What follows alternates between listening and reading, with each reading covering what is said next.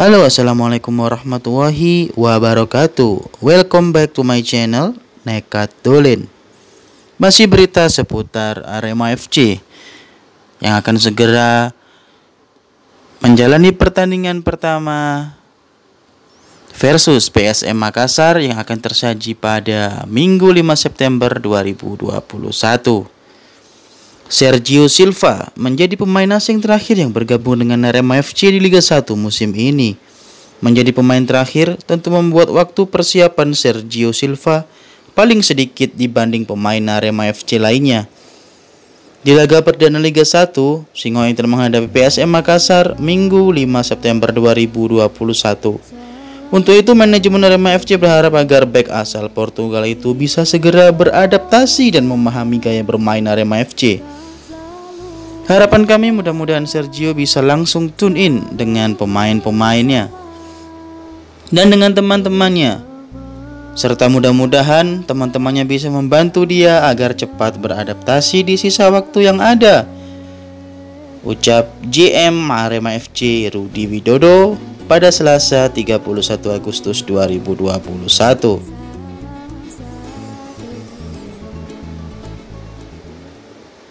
Rintangan berat Sergio Silva dan persiapan mengukur kekuatan PSM Makassar pada lanjutan Liga 1 musim ini.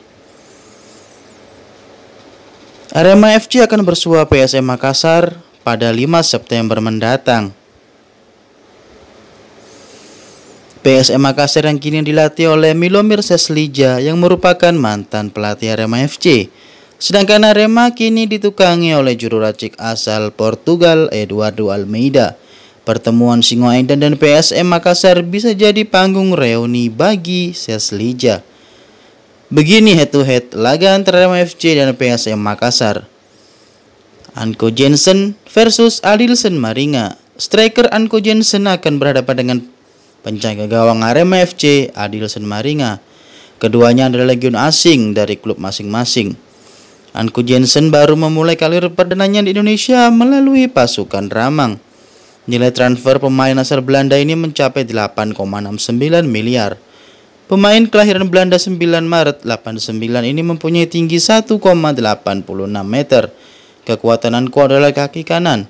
Sebelum gabung PSM Makassar, Anko bermain untuk klub asal Belanda Emmen dengan 20, dengan 82 kali tampil dan 11 gol. Sementara itu, Adilson Maringa juga baru bergabung ke Arema FC pada musim ini. Pemain kelahiran Brazil 22 Agustus 90 ini mempunyai tinggi 1,94 meter. Dikutip dari Transfermarkt, nilai pasarnya mencapai 2 miliar untuk bergabung ke Arema FC. Sebelumnya, ia bermain untuk Liga 2 Portugal, Villa Franquense, pada dekade 2019 sampai 2010 dengan 32 kali penampilan. Baik Ankur dan Adelson belum mempunyai pengalaman di Indonesia. Liga 1 kali ini akan menjadi laga awal mereka. William Pluim versus Renzi Yamaguchi. Kapten PM BSM Makassar, William Pluim akan memimpin lini tengah. Ia akan berhadapan dengan gelandang asal Jepang, Renzi Yamaguchi. Wiljan Pulim sudah membuktikan kehebatannya sebagai gelandang tengah selama Liga 1. Prestasinya adalah membawa PSM Makassar sebagai runner-up runner-up Liga 1. Kemudian dia juga membawa kemenangan untuk PSM di Piala Indonesia. Selama membela PSM, Pluim sudah tampil 98 kali dengan 26 gol sejak tahun 2016 lalu.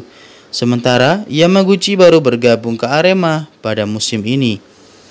Pemain berusia 28 tahun itu mempunyai tinggi 1,75 meter. Arema mendatangkan Yamaguchi dari Lampang FC dengan status bebas transfers. Arema yang kala itu membutuhkan gelandang lini tengah merekrut Yamaguchi. Berikutnya adalah duel terpanas yang akan tersaji apakah mampu Carlos Predator Fortes versus Hilman Syah. Arema FC akan mengandalkan Carlos Fortes untuk membobol gawang PSM Makassar. Pemain ber kebangsaan Portugal itu baru bergabung ke Arema beberapa bulan lalu. Ini berasal dari klub yang sama dengan Aldilson Maringa yaitu klub Liga 2 Portugal Villa Francois. Carlos akan berhadapan dengan penjaga gawang terbaik PSM Makassar saat ini, Hilman Syah. Apakah Carlos Fortes mampu menunjukkan performa terbaiknya pada laga debut ini? Kita nantikan saja beritanya di channel ini. Demikian line up yang akan tersaji pada 5 September mendatang. Berapakah skor yang akan dihasilkan oleh kedua tim ini? Nantikan saja. Silakan tulis prediksi kalian di kolom komentar. Jangan lupa dukung channel ini agar terus berkembang dan memberikan informasi yang terbaru tentang Arema FC dan Liga 1. Terima kasih telah menyaksikan video ini sampai habis. Salam satu jiwa. Nekatulin mengabarkan ini dari Kota Malang.